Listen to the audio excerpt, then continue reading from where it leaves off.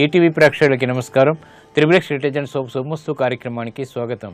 ఈనాడు శుభమస్తు కార్యక్రమంలోని గ్రహపల మంచంలో గ్రహాల యొక్క స్థితిగతులు వాటి యొక్క శుభాశుభ ఫలితాల గురించి పరిశీలిద్దాం. అలాగే రోజు పన్నెండు రాసుల వారికి ఏ సంఖ్యలు కలిసి వస్తాయి రంగుల యొక్క ప్రాధాన్యత ఏ దేవతల్ని పూజించాలి ఎటువంటి దేవతాస్తుతులు పఠించాలి ముఖ్యంగా పన్నెండు రాసుల వారు ఈరోజు చేపట్టవలసినటువంటి కార్యక్రమాలు ఏమిటో కూడా పరిశీలిద్దాం. ముందుగా నేటి పంచాంగ వివరాలు. శ్రీ జైనామ సంవత్సరం ఆశ్వీజ మాసం దక్షిణాయనం శరదృతువు ఈరోజు ఆశ్వీజ బహుళ పంచమి. శుభ ప్రయత్నాలకి బాగా పనికి వస్తుంది. శుక్రమౌఢ్యమి కాబట్టి ముఖ్యమైనటువంటి కార్యక్రమాలైనటువంటి గృహారంభ వివాహ గృహ ప్రవేశాది వాటికి పనికిరాదు. ఇక ఈరోజు వారం హిందూ వారం లేదా సోమవారం. ఈరోజు చేసేటువంటి వస్త్రదానం అన్నదానం అలాగే ఏకాదశ పూర్వక రుద్రాభిషేకం చంద్రుడి ద్వారా ఏర్పడేటువంటి మానసిక క్లేశాలని రుగ్మతల్ని దూరం చేస్తుంది ప్రశాంతతను పెంపొందింపచేస్తుంది. ఇక ఈరోజు నక్షత్రం రోహిణి నక్షత్రం. ఈ రోహిణి నక్షత్రంలో ఏ పాదంలో పుట్టినప్పటికీ కూడా ప్రబల శాంతి తప్పనిసరి ఈరోజు పుట్టేటువంటి వారికి. అలాగే ఈరోజు రోహిణి నక్షత్రంలో పుట్టేటువంటి వారికి చంద్రమహాదస్తుడి ప్రారంభమవుతుంది. చంద్రుడికి ఇది ఉచ్చస్థితి కాబట్టి అనుకూల లగ్నాల్లో ఆధిపత్యత శుభుడైనప్పుడు చక్కటి వైభవాన్ని కలిగించడంలో చంద్రగ్రహం చాలా సమర్థత కలిగినటువంటి గ్రహం. ఇక తర్వాత వచ్చేటువంటి నక్షత్రం మృగశిర నక్షత్రం. ఈ మృగశిర నక్షత్రంలో పుట్టేటువంటి వారికి ఏ పాదంలో పుట్టినప్పటికీ కూడా దోషం లేదు శుభప్రదమైనది. అలాగే ఈ మృగశిర నక్షత్రంలో పుట్టేటువంటి వారికి కుజ మహాదేశతోటి ప్రారంభమవుతుంది. ఇక ఈరోజు పన్నెండు రాసుల వారికి ఏర్పడేటువంటి శుభాశుభ ఫలితాలను పరిశీలిద్దాం. ముందుగా మేషరాశి. ఈరోజు మేషరాశి వారిని పరిశీలించినట్టయితే ఆదాయంలో మంచి మార్పులు చోటు చేసుకుంటే గతంలో కన్నా మెరుగైనటువంటి పరిస్థితులు ఆర్థికంగా ఆనందాన్ని కలిగిస్తాయి. వృత్తి వ్యాపార ఉద్యోగ సంబంధిత కార్యక్రమాల్లో ఏర్పడినటువంటి సమస్యలకు పరిష్కారాలు పొందగలుగుతారు. ఆత్మవిశ్వాసాన్ని పెంపొందింప చేసుకునేటువంటి కార్యక్రమ నిర్వహణ కొనసాగించగలుగుతారు. గృహ సంబంధిత కార్యక్రమాల్లో ఏర్పడినటువంటి సమస్యలకు పరిష్కారాలు లభిస్తాయి. నూతన కార్యక్రమాలను వ్యాపారీత్యా కూడా చేపట్టగలుగుతారు. ఆనందకర వాతావరణాన్ని ఆహ్వానించగలుగుతారు. ఈ రోజు మీ అదృష్ట సంఖ్య రెండు. తెలుపు వర్ణం ప్రశాంతతను పెంచుతుంది. ఆర్థికపరమైనటువంటి వ్యవహారాల్లో విజయాలను తెచ్చిపెడుతుంది. అనుకూల దైవం ఈశ్వరుడు. ఈ రోజు ఈ రాశివారు శివాలయాన్ని దర్శించి ఈశ్వరుడికి అభిషేకాది కార్యక్రమాలు నిర్వహించడం ద్వారా గ్రహ అతి ప్రతికూలతని దూరం చేసుకోగలుగుతారు. శని ద్వారా కుజురు ద్వారా ఏర్పడేటువంటి ప్రతికూల పరిస్థితుల్ని దూరం చేసుకునేటువంటి అవకాశాలు దగ్గరవుతాయి. ఆరోగ్య పరీక్షలు ఈరోజు మీకు మేలుని కలిగిస్తాయి. ఈరోజు వృషభ రాశి వారిని పరిశీలించినట్టయితే ఆహ్లాద పరిస్థితులు గృహంలో చోటు చేసుకుంటే స్థిరాస్తి విషయాలు బాగానే అనుకూలిస్తాయి. వృత్తి వ్యాపార ఉద్యోగ సంబంధిత కార్యక్రమాల్లో ధైర్యంతో కూడినటువంటి నిర్ణయాలకు ఉపక్రమించగలుగుతారు. ఆర్థికపరమైనటువంటి వ్యవహారాల్లో మొదట ప్రతికూలత తర్వాత అనుకూలత ఉన్నప్పటికీ నెట్టుకు రాగలుగుతారు. కీలక నిర్ణయాలు బాధ్యతలు చేపట్టగలుగుతారు. విదేశీ సంబంధిత వ్యవహారాల్లో అనుకూలత ఏర్పడుతుంది. విద్యా సంబంధిత బలం కూడా చేకూరుతుంది. ఈ రోజు మీ అదృష్ట సంఖ్య తొమ్మిది. ఎరుపు వర్ణం ధైర్యాన్ని కలిగిస్తుంది. సాహస నిర్ణయాల ద్వారా విజయాలను దగ్గర చేస్తుంది. అనుకూల దైవం ఆంజనేయ స్వామి. ఈ రోజు ఈ రాశివారు ఆంజనేయ స్వామిని దర్శించి నమస్కరించి పూజించడం శ్రేయస్కరం. ఆంజనేయ స్వామికి చేసేటువంటి ఆధ్యాత్మిక పూజలు ఈరోజు మీకు బలాన్ని చేకూరుస్తాయి. కోర్టు సంబంధిత వ్యవహారాలు ప్రక్రియలు సంభాషణలు హీరోస్ మీకు లభిస్తాయి ఈ రోజు మిథున రాశి వారిని పరిశీలించినట్టయితే కార్యక్రమ నిర్వహణలో ఏర్పడినటువంటి పొరపాట్లు సవరించుకోగలుగుతారు ఆర్థిక వ్యవహారాలు లాభిస్తాయి చేపట్టేటువంటి కార్యక్రమాల్లో ప్రోత్సాహం లభిస్తుంది క్లిష్ట సమస్యలకు పరిష్కారాలు పొందగలుగుతారు గృహ విషయాల్లో అనుకూలత ఏర్పడుతుంది. కార్యక్రమ నిర్వహణలో ఏకాగ్రత పెరుగుతుంది పిల్లల ద్వారా ఆనందం లభిస్తుంది అభివృద్ధి చేకూరుతుంది. గృహ సంబంధిత కార్యక్రమాలు అనుకూలిస్తాయి ప్రయాణాలు సానుకూలం. ఈ రోజు మీ అదృష్ట సంఖ్య మూడు. పసుపు వర్ణం త్వరితగతిని శుభాలని కలిగిస్తుంది. ఆహ్లాద పరిస్థితుల్ని ఆహ్వానిస్తుంది. అనుకూల దైవం శ్రీ వెంకటేశ్వర స్వామి. ఈ రోజు ఈ రాశివారు వెంకటేశ్వర స్వామిని దర్శించి నమస్కరించి పూజించడం శ్రేయస్కరం. స్వామికి చేసేటువంటి పూజాది కార్యక్రమాలు ఆధ్యాత్మిక కార్యక్రమాలు మనోధైర్యాన్ని పెంచి విజయాన్ని దగ్గర చేస్తుంది. విద్యా ప్రయత్నాలు ఈరోజు మీకు లాభిస్తాయి. ఈరోజు కర్కాటక రాశి వారిని పరిశీలించినట్టయితే ధైర్యంతో కూడినటువంటి కార్యక్రమ నిర్వహణ కొనసాగించగలుగుతారు. ఆర్థికపరమైనటువంటి వ్యవహారాల్లో ఏర్పడినటువంటి విభేదాలు వీడిపోతాయి. నూతన కార్యక్రమాలకి వ్యాపారపరంగా శ్రీకారం చుట్టగలుగుతారు. విద్యాబలం చేకూరుతుంది. కార్యక్రమ నిర్వహణలో ఆశించినటువంటి ప్రయోజనాలు దగ్గర అవుతాయి విదేశీ లావాదేవీలు కూడా కలిసి వస్తాయి. స్త్రీలు శుభవార్తలు వింటారు. ఆరోగ్యం పదిలం. ఈ రోజు మీ అదృష్ట సంఖ్య ఐదు. ఆకుపచ్చ వర్ణం రక్షణకి దోహదపడుతుంది. ప్రశాంత పరిస్థితుల్ని ఆహ్వానిస్తుంది. అనుకూల దైవం సుబ్రహ్మణ్య స్వామి. ఈరోజు ఈ రాశివారు సుబ్రహ్మణ్య స్వామిని దర్శించి నమస్కరించి పూజించడం శ్రేయస్కరం. సుబ్రహ్మణ్య స్వామికి చేసేటువంటి ఆధ్యాత్మిక పూజలు ఆర్థికపరమైనటువంటి వ్యవహారాల్లో అనుకూలతను పెంపొందింపచేస్తుంది. వాహన విక్రయాలు ఈరోజు మీకు లాభిస్తాయి. ఈ రోజు సింహరాశి వారిని పరిశీలించినట్టయితే మానసిక క్లేశాలు దూరమవుతాయి ధైర్యంతో కూడినటువంటి కార్యక్రమ నిర్వహణ కొనసాగించగలుగుతారు ఆత్మవిశ్వాసం పెరుగుతుంది స్థిరాస్తి విషయాల్లో ఏర్పడినటువంటి పేచీలు దూరమవుతాయి పరిష్కారాలు లభిస్తాయి నూతన ఒప్పందాల ద్వారా వ్యాపారపరంగా అభివృద్ధిగా చేపట్టేటువంటి కార్యక్రమాలు కలిసి వస్తాయి. వృత్తి వ్యాపార ఉద్యోగ సంబంధిత కార్యక్రమాల్లో ఆశించినటువంటి ప్రయోజనాన్ని పొందగలుగుతారు. శుభవార్తలు వింటారు. ఈ రోజు మీ అదృష్ట సంఖ్య ఐదు. ఆకుపచ్చ వర్ణం రక్షణకి దోహదపడుతుంది. ఆహ్లాద పరిస్థితుల్ని కలిగిస్తుంది. అనుకూల దైవం శ్రీ మహాలక్ష్మి. ఈ రోజు ఈ రాశివారు శ్రీ మహాలక్ష్మి దేవిని పూజించడం శ్రేయస్కరం. శ్రీ మహాలక్ష్మీదేవికి చేసేటువంటి ఆధ్యాత్మిక పూజలు శ్రీ సూక్త విధానంతో చేపట్టేటువంటి కార్యక్రమాలు వేగవంతమైనటువంటి ఆర్థిక అభివృద్ధికి దోహదపడతాయి. సాహస నిర్ణయాలు ఈరోజు మీకు లాభిస్తాయి. ఈ రోజు కన్యారాశి వారిని పరిశీలించినట్టయితే ఆరోగ్య విషయంలో ప్రతికూలత ఉన్నప్పటికీ నెట్టుకు రాగలుగుతారు. అధిక ఖర్చులు ఉక్కిరిబిక్కిరి చేస్తాయి. ఆదాయాన్ని కూడా పెంపొందింప చేసుకోగలుగుతారు సమస్యలకు పరిష్కారాలు పొందగలుగుతారు. నూతన కార్యక్రమాలకు శ్రీకారం చుట్టగలుగుతారు. లాభదాయకమైనటువంటి కార్యక్రమ నిర్వహణ వ్యాపారరీత్యా కొనసాగుతుంది. విదేశీ వ్యవహారాల్లో కూడా విజయాలు సిద్ధిస్తాయి. కుటుంబ వ్యవహారాలు కలిసి వస్తాయి. ఆనందకర పరిస్థితులు అన్ని రంగాల వారికి కూడా దగ్గరవుతాయి. ఆత్మబలం చేకూరుతుంది ఈ రోజు మీ అదృశ్య సంఖ్య ఆరు. తెలుపు వర్ణం ప్రశాంతతను పెంచుతుంది. ప్రతికూల పరిస్థితులను దూరం చేస్తుంది. శ్రమను తగ్గిస్తుంది. అనుకూల దైవం మహాకాళి. ఈరోజు ఈ రాశివారు మహాకాళి అమ్మవారిని దర్శించి నమస్కరించి పూజించడం శ్రేయస్కరం. అమ్మవారికి చేసేటువంటి కుంకుమాది అర్చనాది కార్యక్రమాలు ఆధ్యాత్మిక పూజలు శని ద్వారా ఏర్పడేటువంటి ప్రతికూలతని తగ్గిస్తుంది. వ్యవహారాల్లో చుక్కెదురు పరిస్థితుల్ని దూరం చేస్తుంది. సాహస నిర్ణయాలు ఈరోజు మీకు లాభిస్తాయి.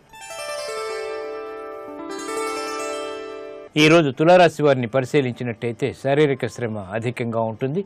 వాహన విషయాల్లో జాగ్రత్తలు పాటించాలి. వృత్తి వ్యాపార ఉద్యోగ సంబంధిత కార్యక్రమాల్లో ప్రతిబంధకాల్ని ధైర్యంతో ఎదుర్కోలేకపోతారు. నూతన సమస్యలు వెలుగులోకి వస్తాయి. ఆర్థిక పరిస్థితిపై చేసినటువంటి ప్రయత్నాలు కొంతవరకు ఊరట కలిగిస్తాయి. గృహ సంబంధిత కార్యక్రమాల్లో జాగ్రత్తలు పాటించాలి. ఈరోజు మీ అదృశ్య సంఖ్య మూడు పసుపు వర్ణం త్వరితగతిని శుభాల్ని కలిగిస్తుంది ప్రతికూల పరిస్థితుల్ని దూరం చేస్తుంది. అనుకూల దైవం మహాగణపతి. ఈ రోజు ఈ రాశి వారు మహాగణపతిని దర్శించి నమస్కరించి పూజించడం ద్వారా విఘ్నాలు దూరం అవుతాయి అయోమయ పరిస్థితుల నుంచి బయటికి రాగలుగుతారు. శ్రమ తగ్గుతుంది. ఆరోగ్య పరీక్షలు ఈ రోజు మీకు మేలుని కలిగిస్తాయి. ఈరోజు రోజు రాశి వారిని పరిశీలించినట్టయితే మానసిక బలం చేకూరుతుంది స్నేహితుల ద్వారా లబ్ధి ఏర్పడుతుంది సంబంధ బాంధవ్యాలు మెరుగవుతాయి వ్యాపారరీత్యా భాగస్వాములతో ఆశించినటువంటి ప్రయోజనాల్ని పొందగలుగుతారు. వృత్తిలో అభివృద్ధి గోచరిస్తుంది ఆర్థిక సహాయ సహకారాలు లభిస్తాయి. ఆనందకర వాతావరణం అన్ని రంగాల వారికి చేకూరుతుంది విదేశీ ప్రయాణాల ద్వారా లబ్ధి చేకూరుతుంది. సంభాషణ ద్వారా ఇతరులని ఆకట్టుకునేటువంటి ప్రయత్నాలు కూడా కలిసి వస్తాయి. ఆదాయాన్ని పెంపొందింప చేసుకోగలుగుతారు. శ్రమ తగ్గుతుంది. ఈ రోజు మీ అదృష్ట సంఖ్య ఒకటి. తెలుపు వర్ణం ప్రశాంతతను పెంచుతుంది. ప్రతికూలతని తగ్గిస్తుంది. అనుకూల దైవం ఈశ్వరుడు. ఈ రోజు ఈ రాశి వారు శివాలయాన్ని దర్శించి ఈశ్వరుడికి అభిషేకాది కార్యక్రమాలు నిర్వహించడం ద్వారా గ్రహ ప్రతికూలతని ముఖ్యంగా ఏలినాటి ద్వారా ఏర్పడేటువంటి వ్యయాన్ని నియంత్రించగలుగుతారు. ప్రతికూల పరిస్థితులు దూరమవుతాయి. విదేశీ ఒప్పందాలు ఈరోజు మీకు లాభిస్తాయి. ఈరోజు ధనుసు రాశి వారిని పరిశీలించినట్టయితే కార్యాలలో విఘ్నాలు చవి చూస్తారు. గతంలో కన్నా మెరుగైనటువంటి పరిస్థితుల్ని వెంటనే పొందలేకపోతారు. గృహ విషయాల్లో చిరు సమస్యలు తలెత్తుతాయి. మిత్రులు శత్రులు అవుతారు ఆర్థికపరమైనటువంటి అంచనాలు తారుమారి అయ్యేటువంటి సంఘటనలు విస్మయాల్ని కలిగిస్తాయి. వృత్తి వ్యాపార ఉద్యోగ సంబంధిత కార్యక్రమాల్లో జాగ్రత్తతో కూడినటువంటి నిర్ణయాలు తప్పనిసరి ప్రయాణాల విషయంలో కూడా జాగ్రత్తలు పాటించాలి. ఆర్థిక క్రమశిక్షణ లోపిస్తుంది. ఈ రోజు మీ అదృష్ట సంఖ్య తొమ్మిది. ఎరుపు వర్ణం ధైర్యాన్ని కలిగిస్తుంది. సాహస నిర్ణయాలకి దోహదపడుతుంది. అనుకూల దైవం దక్షిణామూర్తి. ఈ ఈ రాశివారు దక్షిణామూర్తి స్వామిని దర్శించి నమస్కరించి పూజించడం శ్రేయస్కరం. దక్షిణామూర్తికి చేసేటువంటి ఆధ్యాత్మిక పూజలు తెలివైనటువంటి నిర్ణయాల్ని కలిగిస్తుంది ఆలోచన దోషాల్ని పోగొడుతుంది గృహ సంబంధిత కార్యాలు కార్యక్రమాలు ఈరోజు మీకు సంతృప్తిని కలిగిస్తాయి. ఈ రోజు మకర రాశి వారిని పరిశీలించినట్లయితే వ్యవహారాల్లో చుక్కెదురు పరిస్థితుల్ని అధిగమించగలుగుతారు. నూతన కార్యక్రమాలకి శ్రీకారం చుట్టగలుగుతారు. శుభ పరిణామాలు గృహంలో చోటు చేసుకుంటాయి. శుభ ప్రయత్నాలు కలిసి వస్తాయి. వ్యాపార సంబంధిత ఒప్పందాలు బాగానే లాభిస్తాయి. ఆశించినటువంటి ప్రయోజనాలను వెంటనే పొందగలుగుతారు. స్నేహితుల ద్వారా లబ్ధి చేకూరుతుంది.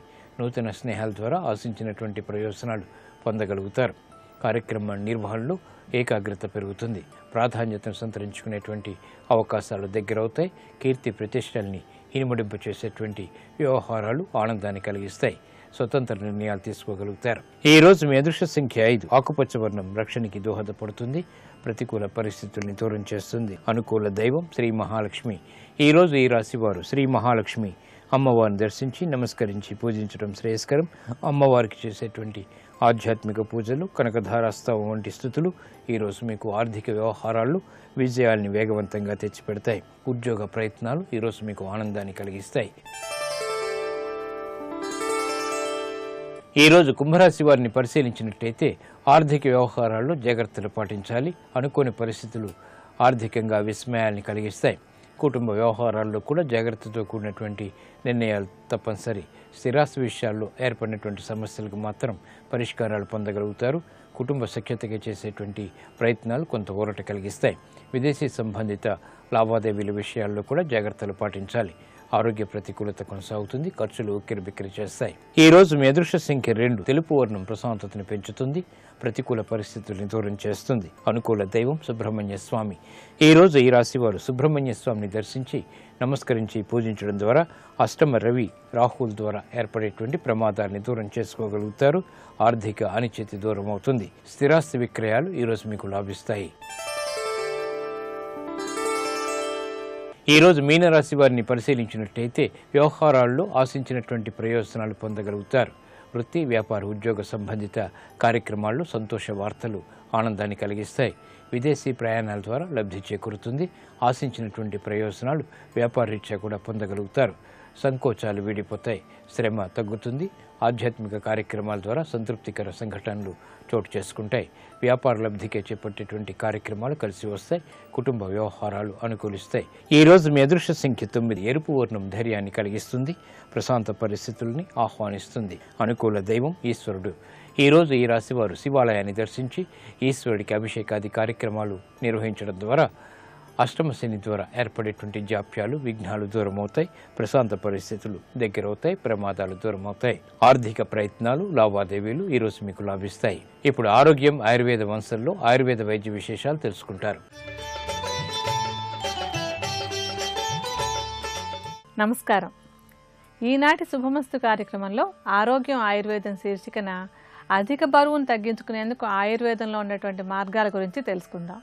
మామూలుగా ఏంటంటే శరీరానికి ఒక బరువు అనేటువంటిది ఒక స్టాండర్డ్గా చెప్తూ ఉంటాం. అయితే అందరూ అదే బరువు ఉండాలని కాదు కానీ మామూలుగా శరీరంలో ఉండవలసినటువంటి కొవ్వు అది మాత్రం అధికంగా పెరిగిపోకుండా చూసుకోవడం చాలా అవసరం. బరువు ఏంటంటే మన ఎముకలను బట్టి తర్వాత మన కండరాలను బట్టి మన కొవ్వుని బట్టి అన్నింటి బట్టి ఆధారపడి ఉంటుంది. అయితే కొవ్వు వల్ల పెరిగినటువంటి బరువు మాత్రం అనారోగ్యానికి కారణం అవుతూ ఉంటుంది. ఈ శరీరం బరువు బాగా పెరిగిపోవడానికి ఒకటి మనకి ప్రధానంగా చెప్పుకోవాల్సినటువంటి కారణం ఏంటంటే మనం శరీరానికి వ్యాయామం చేయకుండా ఉండడం అలాగే శరీరానికి అవసరమైనంత దానికంటే ఎక్కువగా తింటూ ఉండడం. ఈ రెండు కూడా కలిసినట్టయితే కనుక శరీరం బరువు పెరగడానికి అవకాశం ఎక్కువగా ఉంటుంది. అందుకని తినాల్సినటువంటి ఆహారం ఎంత తినాలో అంతే తింటూ ఆ మనం చేసేటువంటి వ్యాయామాన్ని కనుక పెంచుకున్నట్టయితే ఈ సమస్య రాకుండా ఉండడానికి అవకాశం ఉంటుంది. అలాగే ఆల్రెడీ ఈ అధిక బరువుతో ఉన్నట్టయితే కనుక తగ్గించుకోవడానికి ఒక ఆయుర్వేద ఔషధాన్ని కూడా తయారు చేసుకోవచ్చు. ఈ ఔషధం తయారు చేసుకోవడానికి మనకి మొట్టమొదట కావాల్సినటువంటిది త్రిఫలాలు. త్రిఫలాలు అంటే కరక్కాయ ఉసిరికాయ తానికాయ. ఈ మూడింటిని సమానంగా తీసుకున్నప్పుడు దాన్ని త్రిఫలాలు అంటారు. ఈ మూడింటిని కూడా విడివిడిగా చూర్ణాల్లాగా చేసేసుకుని అంటే కరక్కాయ చూర్ణం విడిగాను ఉసిరి చూర్ణం విడిగాను తర్వాత తానికాయ చూర్ణం విడిగా. విడివిడిగా చేసుకుని ఆ మూడింటిని కలుపుకోవాలి. అంటే విడివిడిగా ఒక్కొక్కటి వంద గ్రాముల పరిమాణంలో తీసుకుని మూడింటిని కలిపి ఒక మూడు వందల గ్రాముల పరిమాణంలో చూర్ణం చేసి ఉంచుకోండి.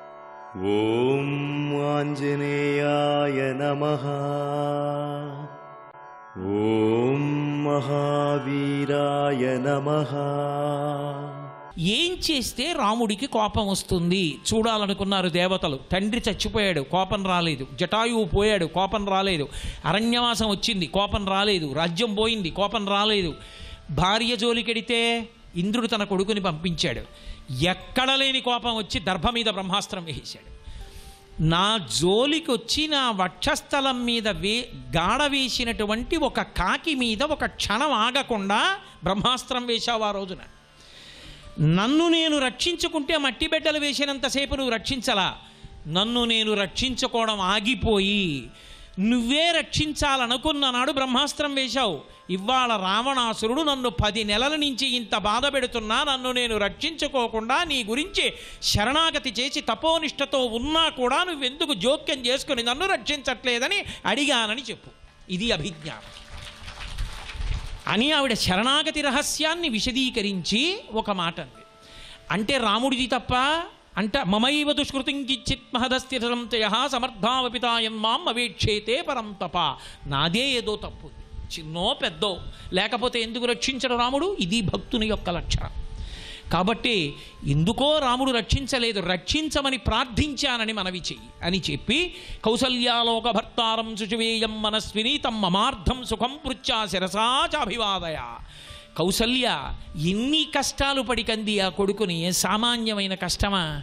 అశ్వమేధయాగం చేసినప్పుడు దశరథ మహారాజు గారు చచ్చిపోయినటువంటి గుర్రాన్ని ఒక రాత్రంతా భర్తని కౌగిలించుకొని ఒక స్త్రీ ఎలా పడుకుంటుందో అలా గుర్రాన్ని కౌగిలించుకొని పడుకోవాలి. చనిపోయిన గుర్రాన్ని. ఆ మరునాడు దాని యొక్క మేధస్సుని తీసి అగ్నిహోత్రం మీద పచనం చేసి ఆ వస్తున్న వాసన పీలిస్తే యజమానికి దోషం నశిస్తుంది.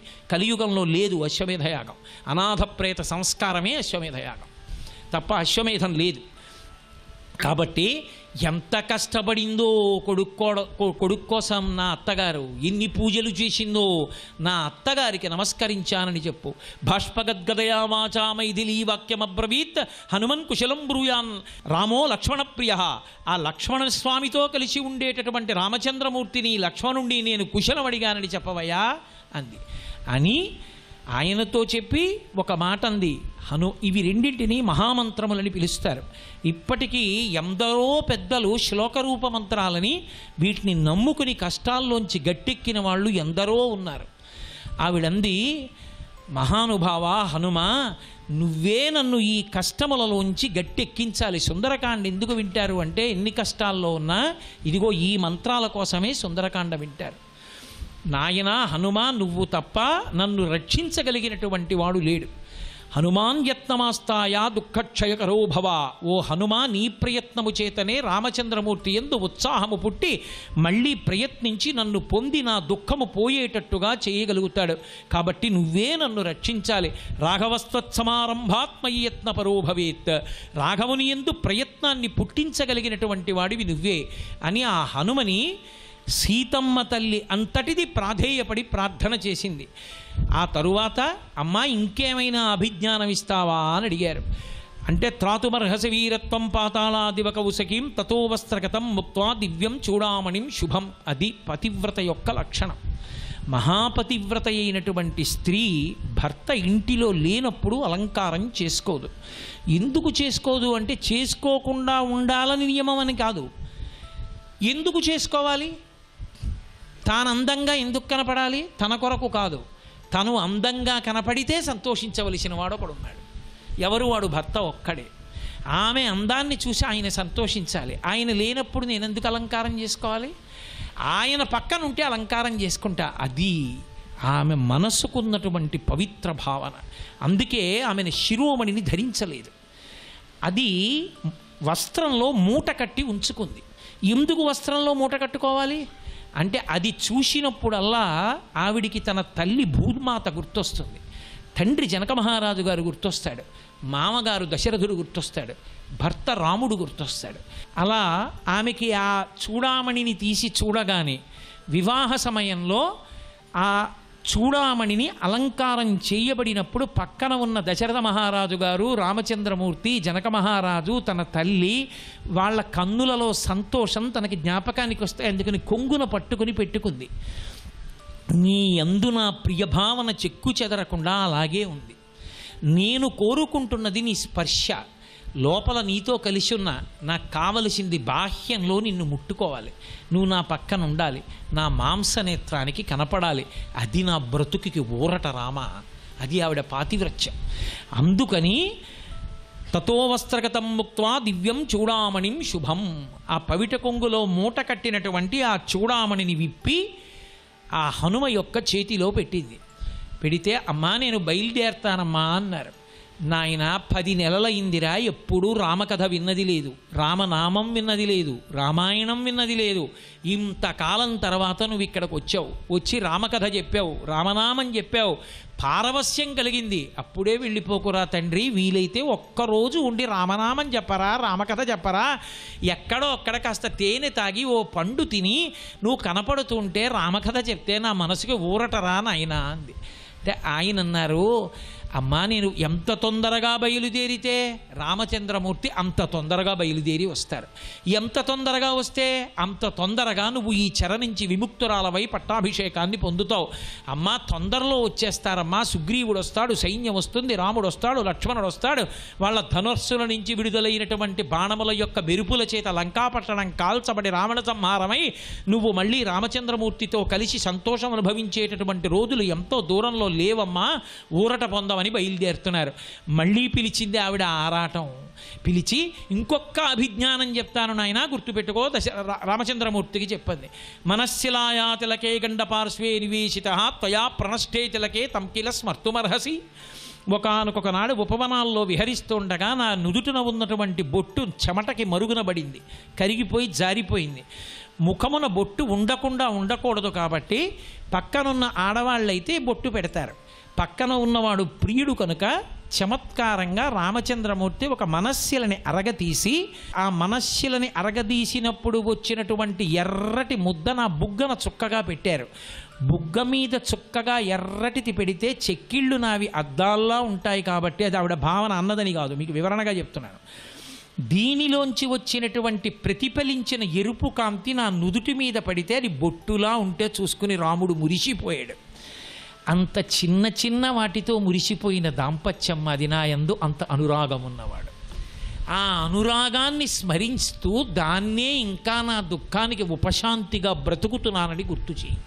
సీతారాముల అన్యోన్యతకి ఆ పెట్టిన బొట్టు గుర్తు. అంతగా బొట్టు పెట్టాడు నా భర్త. అది జ్ఞాపకం చేశానని చెప్పు. అంటే సీతమ్మ తల్లి తన జీవితంలో కోరుకున్నది ఏది అంటే భర్త యొక్క ప్రేమ. ఆయన అనురాగం అదొక్కటే ఆవిడికి కావాలి. అదే ఆవిడ పాతివ్రత్యం. కాబట్టి ఈ అభిజ్ఞానాన్ని చెప్పవయ్యా అంది. రాముడు ఉంగరం పంపాడు ఆవిడ మూడు పంపింది. మనంతట మనం ప్రయత్నం చేసుకున్న నాడు పరమేశ్వరుడు జోక్యం చేసుకోడు. భగవంతుని ఎందు భక్తితో కలిసి ప్రయత్నం చెయ్యాలి లేదా శరణాగతి చెయ్యాలి. ఈ రెండిటి ఎందు ఈశ్వరుడు జోక్యం చేసుకుంటాడు. మన మనసులో పెట్టుకోవలసిన అభిజ్ఞానం. రెండిటిని మానసికంగా గుర్తులు చెప్పింది. ఒకటి మనస్సుల అరగదీసి బొట్టు పెట్టడం. రెండవది అదిగో కాకాసుర వృత్తాంతం. ఒక్కటే వస్తువు ఇచ్చింది చూడామణిని ఇచ్చింది ఇచ్చి బయలుదేరుతున్నటువంటి హనుమని మళ్ళీ పిలిచింది ఆవిడ ఆర్తి కొడుకు వాడు వెళ్ళిపోతున్నాడు. పది నెలలైంది రామనామం వినపడలేదు రామకథ లేదు. ఇన్నాళ్ళకి ఉపశాంతి. వెళ్ళిపోతున్నాడు బెంగ మాట్లాడద్దు. నాయనా నువ్వే కదా చెప్పావు. ఈ దక్షిణ సముద్రం దాటడానికి కొన్ని లక్షల మంది వానలు వచ్చి ఉత్తర తీరంలో ఉండిపోయారమ్మా నూరు యోజనములు దాటలేక నేను దూకి వచ్చి నీ దర్శనం చేశానమ్మా అన్నావు కదా. రేపు రావణ సంహారం చెయ్యడానికి రామరావణ యుద్ధ ప్రయత్నంలో సముద్రం దాటి రాగలిగిన వానలు ఎందరు ఉన్నారు. అంతమంది లేనప్పుడు రావణ సంహారం ఎలా కుదురుతుందని అడిగింది. అమ్మ వంక తిరిగి అన్నారు అమ్మా నేను ఒక్క మాట చెప్పనా? అసలు లోకంలో ఎప్పుడైనా సరే మహారాజులకు ఒక అలవాటు ఉంటుంది. రాణివాసంలోకి తమ అంతఃపుర స్త్రీల దగ్గరికి ఎవరినైనా పంపించాలి అంటే తన దగ్గర ఉన్న వాళ్ళందరిలోకి పనికి మాలిన వాడెవరుంటాడో అత్యంత తక్కువ శక్తి ఉన్నవాడెవరుంటారో వాణ్ణి రాణివాసానికి పంపుతారు. కాబట్టి అమ్మ రామచంద్ర ప్రభు నన్ను పంపించారు అంటే నీకు అర్థం అవట్లా నాతో సమానమైన వాళ్ళు ఉన్నారు నాకన్నా అధికులు ఉన్నారు ఈ భూమిని కొన్ని వేల పర్యాయములు ప్రదక్షిణం చేయగలిగిన వాళ్ళు ఉన్నారు తప్ప అమ్మా నాకన్నా తక్కువైనటువంటి వాళ్ళు లేరమ్మా రామచంద్రమూర్తి దగ్గర. నాకన్నా తక్కువ వాళ్ళు లేరమ్మా సుగ్రీవుడి దగ్గర. ఇక ఈ నూరు యోజనములు నేను దాటొచ్చానంటావా? అది వాళ్ళు నాకు ఇచ్చిన అవకాశం అంతే. హనుమ యొక్క వినయాన్ని సుందరకాండలో పరిశీలిస్తే అంత వంగి కూడా సీతమ్మ తల్లిని మళ్ళీ తాను రామచంద్రమూర్తితో కలిసి వచ్చేంత వరకు బ్రతికించడానికి తన మాట ఆధారం కావాలని తనని తాను అంత తక్కువ చేసుకుని వినయంతో నిలబడినటువంటి హనుమ మన జీవితాల్లో ఆదర్శంగా నిలబడిన నాడు మనం పది మంది ముందు అతిశయంతో బతకడం కన్నా పది మందిని బతికించడానికి ఎంత కిందకి వెళ్ళడానికైనా సిద్ధపడతాం. అది జాతి ఎందు ఉన్నటువంటి సంస్కారం. సర్వం శ్రీ ఉమామహేశ్వర పరబ్రహ్మార్పణమస్తు స్వస్తి. ధర్మమునందు అనురక్తి ఎవరికి ఉంటుందో వాళ్ళకి ఎప్పుడూ హనుమ యొక్క అనుగ్రహము హనుమ యొక్క రక్షణ కలుగుతూ ఉంటాయి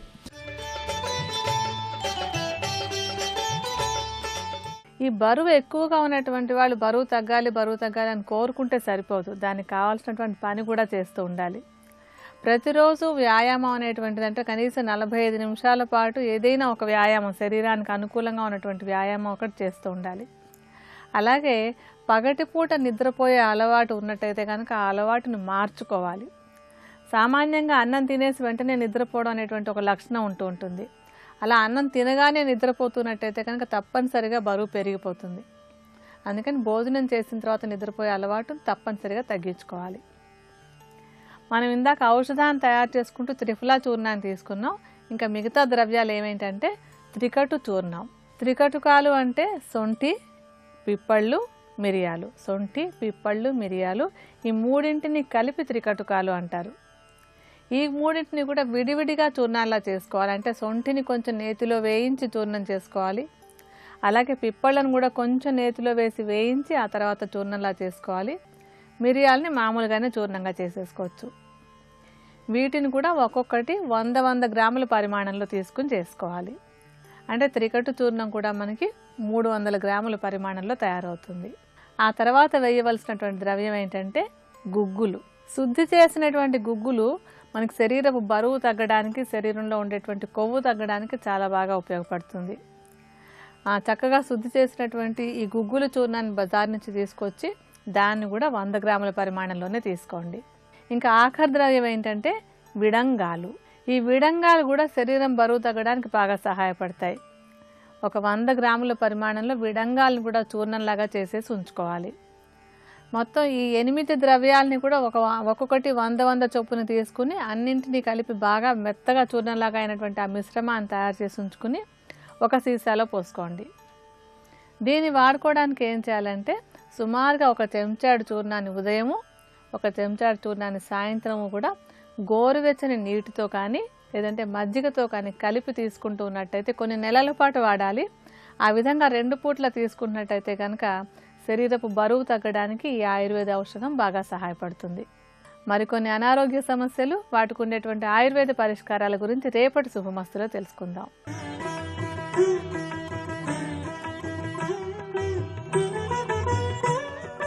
త్రిబుల్ ఎక్స్ డిటర్జెంట్ సోప్ శుభమస్తు కార్యక్రమంలో శుభయోగం శీర్షికకి స్వాగతం. ఈ శీర్షికన పూజ దాని విధి విధానాలు అనే అంశం గురించి పరిశీలిద్దాం.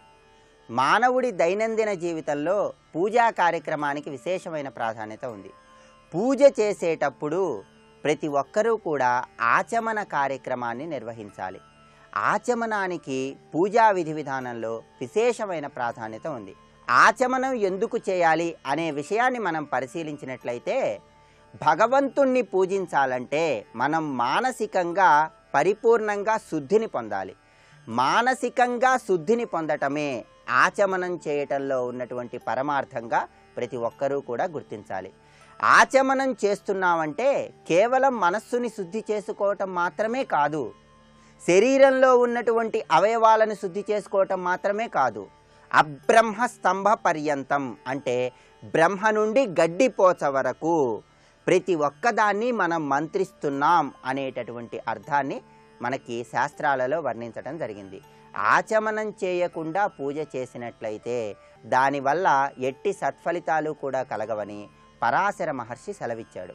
కనుక ప్రతి ఒక్కరూ కూడా పూజా కార్యక్రమాన్ని నిర్వహించేటటువంటి తరుణంలో ఆచమన కార్యక్రమాన్ని తప్పనిసరిగా నిర్వహించాలి. మరి ఆచమనం ఎలా చేయాలి అంటే గోకర్ణాకృతి హస్తేన మాషమగ్న జలం పిబేత్ అంటుంది శాస్త్రం. అంటే ఆచమనం చేయాలనుకున్న వాళ్ళు ఎవరైనా సరే అరచేయిని ఆవు చెవి ఆకారంలో ఉంచి ఆచమనం చేయాలి. ఆచమనం చేయటానికి ప్రతి ఒక్కరూ కూడా పంచపాత్రలో ఉద్ధరిణను ఉంచి ఉద్ధరిణతో నీళ్ళని ఆవు చెవి ఆకారంలో ఉంచినటువంటి చేతిలో వేసుకొని ఆచమనం చేయాలి. ఆచమనం చేయటానికి మనం స్వీకరించేటటువంటి నీటిలో ఒక మినప గింజ వేసినట్లయితే ఆ మినప గింజ ఎంతవరకు మునుగుతుందో అంత నీటిని మాత్రమే స్వీకరించి ఆచమనం చేయాలని శాస్త్రాలలో వర్ణించటం జరిగింది.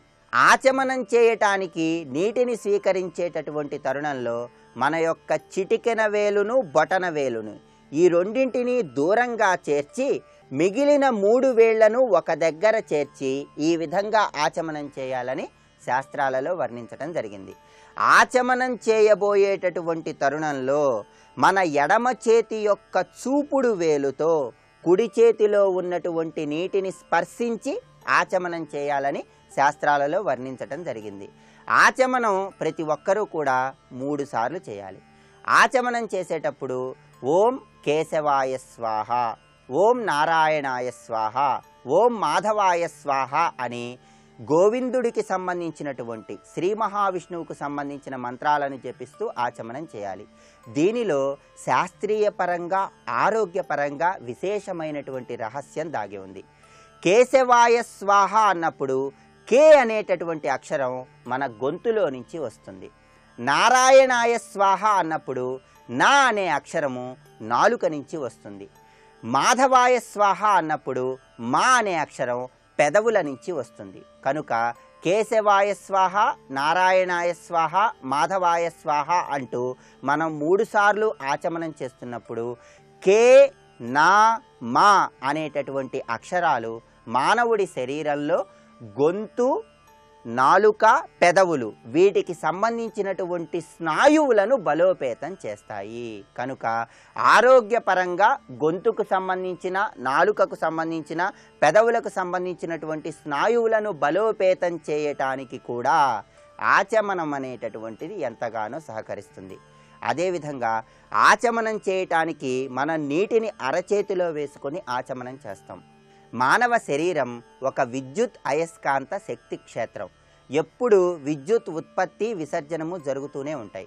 మన శరీరంలో ఉన్నటువంటి అన్ని అవయవాలకు విద్యుత్ ఉత్పత్తి సమాన స్థాయిలో ఉండే విధంగా చేయటానికి అరచేతిలో నీటిని వేసుకొని మనం స్వీకరించేటటువంటి ఆచమనం ఎంతగానో సహకరిస్తుంది. ఆచమన కార్యక్రమం పూర్తయిపోయిన తర్వాత మన బొటనవేలి యొక్క మూల భాగాన్ని పెదవులను రెండుసార్లు అలా కలిపి తుడుచుకొని ఓం హృషికేశాయ నమః అంటూ చేతులు కడుక్కోవాలి. ఆచమనం పూర్తయిన తర్వాత బొటనవేలితో ముక్కు కళ్ళు చెవులు స్పృశించాలి. చివరగా కుడి చెవిని తాకటంతో ఆచమన కార్యక్రమం పూర్తవుతుంది. కనుక ప్రతి ఒక్కరూ కూడా పూజా కార్యక్రమాన్ని నిర్వహించేటటువంటి తరుణంలో శాస్త్రములో చెప్పబడిన విధంగా ఆచమన కార్యక్రమాన్ని నిర్వహించినట్లయితే భగవంతుడి యొక్క అనుగ్రహంతో పాటు ఆరోగ్యపరంగా కూడా చక్కటి పురోభివృద్ధిని సాధించడానికి ఆస్కారం ఎంతగానో ఉంది. ఇంకా పూజా విధి విధానాలలో దాగి ఉన్నటువంటి ఆరోగ్య శాస్త్రీయ రహస్యాలు ఏమిటో వచ్చే సోమవారం శుభమస్తు కార్యక్రమంలో శుభయోగం శీర్షికన తెలుసుకుందాం. రేపటి శుభమస్తు కార్యక్రమంలో శుభయోగం శీర్షికన శకునాలు వాటి ప్రభావాలు అనే అంశం గురించి పరిశీలిద్దాం.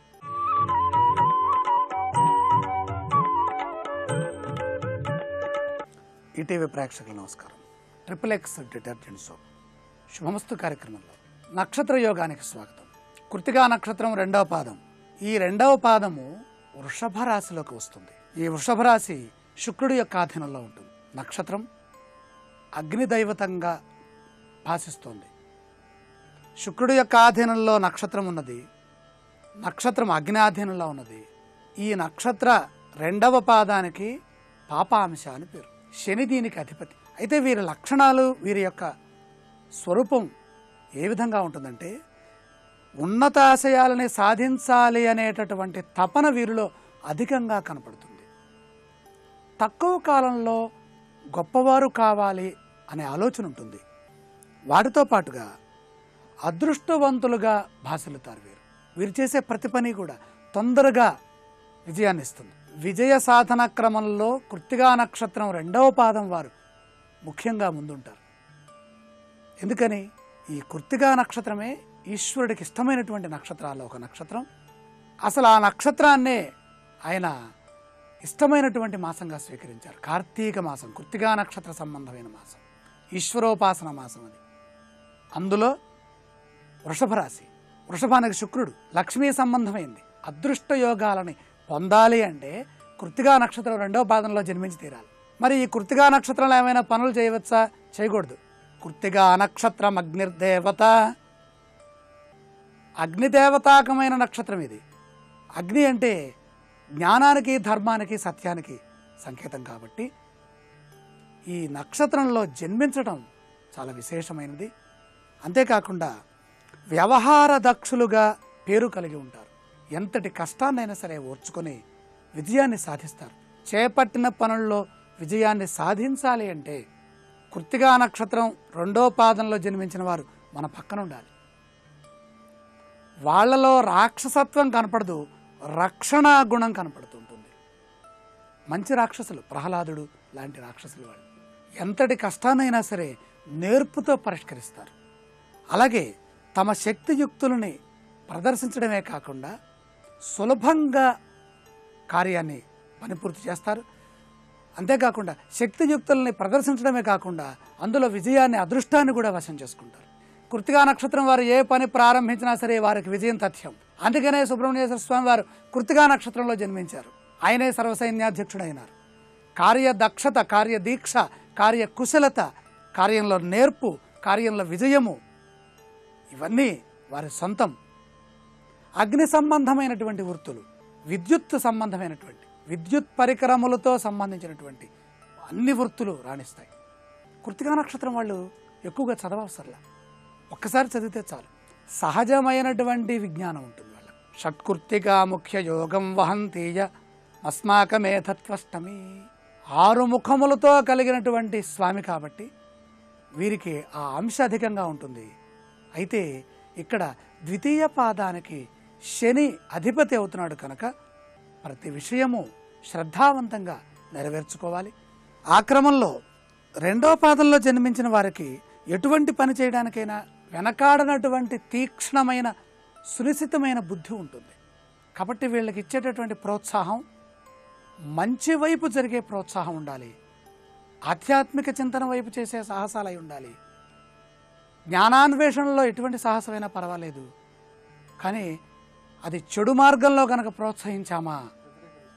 వ్యతిరేక దిశలో కనుక వీళ్ళని ప్రోత్సహిస్తే విపరీత పరిణామాలని చవి చూడవలసినటువంటి పరిస్థితి వస్తుంది. కాబట్టి వీళ్ళని సదా గౌరవిస్తూ ఉండాలి. అలాగే వీరిలో కొందరు భార్యను గౌరవించడంలో కొన్ని ఇబ్బందులు పడుతూ ఉంటారు. అనుమానిస్తూ ఉంటారు. ఈ దోషం పోవాలి అంటే లక్ష్మీ ఆరాధన చేయాలి. వీళ్ళకి అదృష్ట దైవము ఈశ్వరుడు వెంకటేశ్వర స్వామి అదృష్టవారం శనివారము. ఎక్కడైనా సరే శుభ కార్యక్రమాల్లో కానీ జన్మదినోత్సవాల్లో కానీ ధరించవలసినటువంటి అదృష్టపు రంగు లేత నీలి రంగు. రేపటి శుభంస్థ కార్యక్రమంలో కృతిగా నక్షత్రం మూడో పాదంలో జన్మించిన వారి యొక్క లక్షణాలు ఎలా ఉంటాయి వారి భవిష్యత్ ఏమిటి వారు ఆరాధించవలసినటువంటి దైవం ఎవరు ఈ విషయాలను పరిశీలించేద్దాం ఇప్పుడు ఆరోగ్యము యోగా అనే శీర్షికన అనారోగ్య సమస్యల నివారణకి ఉపకరించే కొన్ని యోగాసనాలని పరిశీలన చేద్దాం. సన్నగా ఉన్నవారు లావు కావడానికి పుష్టిగా తయారు కావటానికి ఆకర్ణ ధనురాసనం బాగా ఉపకరిస్తుంది. వంశపారపర్యం వల్ల జన్యు సంబంధిత సమస్యల వల్ల ఆహారాన్ని తగు ప్రమాణంలో తీసుకోకపోవటం వల్ల కొంతమంది వయసుకు తగిన శరీర సౌష్ఠవంతో కనిపించరు. యుక్త వయసు వచ్చినా ఇటువంటి వారు శారీరకంగా అపరిపక్వంగా ఉంటారు. ఈ తరహా వ్యక్తులు వయసుకు తగిన విధంగా శారీరక పుష్టిని సంతరించుకోవటానికి ఆకర్ణ ధనురాసనం ఉపకరిస్తుంది. నేలపై కూర్చుని రెండు కాళ్ళు చాపి ఎడమ కాలిని ఎడమ చేత్తో కుడి కాలుని కుడి చేత్తో పట్టుకుని కొద్దిగా పైకి ఎత్తాలి. ఈ స్థితిలో ఒక్కో కాలిని చెవిదాకా లాగాలి. దీనిని ఆకర్ణ ధనురాసనంగా వ్యవహరిస్తారు. యాసనాన్ని నిత్యం సాధన చేయటం వల్ల తల నుంచి కాలి బొటనవేలి వరకు ఉన్న వివిధ కండరాలు పటిష్టవంతమవుతాయి.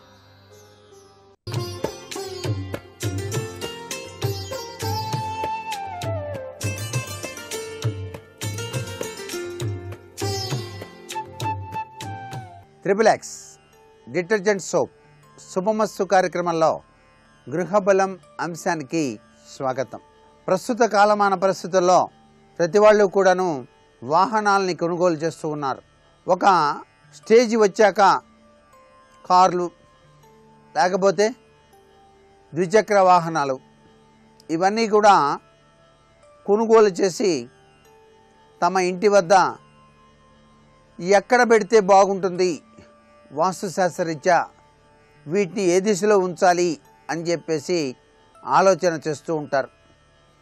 వాహనాల్ని నిలిపేటువంటి దిశ కూడా ముఖ్యమైనటువంటి ప్రాతిపదిక కాబట్టి వాస్తుశాస్త్రరీత్యా వాహనాలన్నింటినీ ఎక్కడ ఖాళీ స్థలంలో ఉంచితే మనకి మంచి జరుగుతుంది. వాహనాలకి ఎటువంటి రిపేర్స్ రాకుండా ఉంటాయి. చక్కగా ప్రయాణం సజావుగా సాగుతుంది అని చెప్పేసి చాలామంది భావన చేస్తూ ఉంటారు. అందుచేత ఈ కారు స్కూటర్సు మొదలైనటువంటి వాహనాలన్నింటినీ కూడాను చక్కగా ఎటువంటి లోపాలు లేకుండా వాస్తుశాస్త్రరీత్యా ఎటువైపు కనుక ఉంచినట్లయితే చక్కటి పార్కింగ్ స్థలం ఎన్నుకోవటంలో మనం చక్కటి నిర్ణయం తీసుకోవాలి అని చెప్పేసి ఆలోచన చేసినట్లయితే పార్కింగ్ విధానంలో చేపట్టవలసినటువంటి ఈ యొక్క అంశాలని కనుక పరిశీలన చేసినట్లయితే ఇంటికి ఉత్తరం తూర్పు ప్రాంతంలో పార్కింగ్ దిక్కులుగా వాస్తుశాస్త్రం సూచిస్తోంది.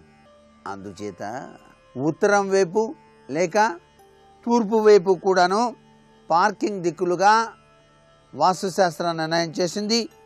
వాహనాల్ని తూర్పు ఉత్తరం ప్రాంతంలో పార్కింగ్ చేయటం అనేటువంటిది ఉత్తమం.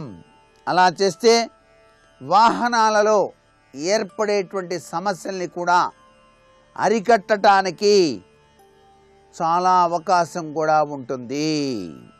ఇదే విధంగా ఉత్తరం తూర్పు దిశల్లో ఎక్కువ కాలం పాటు వాహనాలని అలా ఉంచకూడదు వాడకుండా. ఇది బాగా గుర్తుపెట్టుకోవాలి. ప్రతి వాళ్ళు కూడాను వాస్తుశాస్త్రరీత్యా. ఉత్తరం తూర్పులో వాహనాలు పెట్టారు బాగానే ఉంది.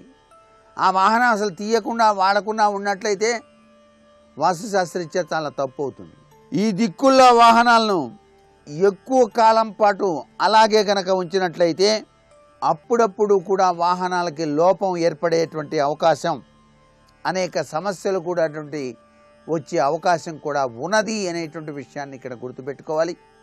అంతేకాకుండా ఆ వాహనాలను త్వరగానే అమ్మేద్దాం అనేటువంటి మనోభావన కూడా వస్తుంది. కాబట్టి వాహనం వాస్తుశాస్త్రరీత్యా పెట్టేటువంటి తీరుతులను బట్టి ఉంటుంది ఇంట్లో సెల్లార్స్లో.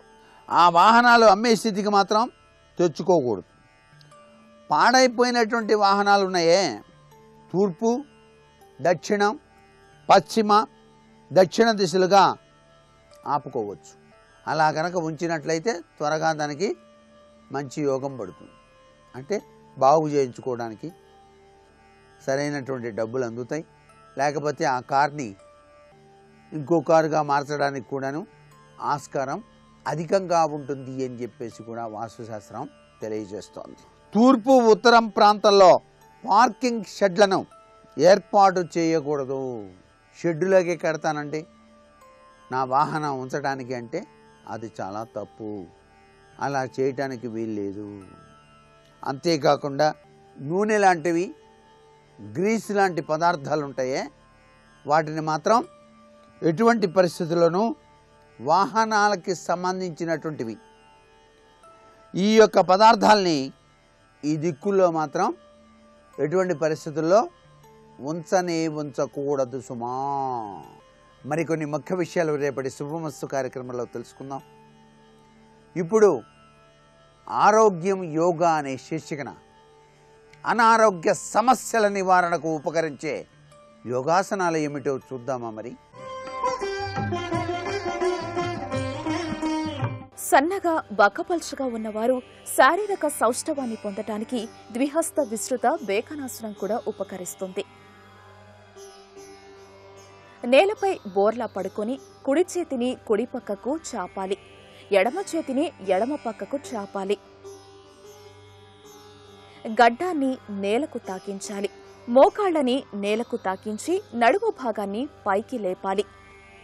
ఈ ఆసన సాధన వల్ల శరీరంలో ముఖ్యమైన కండరాలన్నీ బలోపేతమవుతాయి.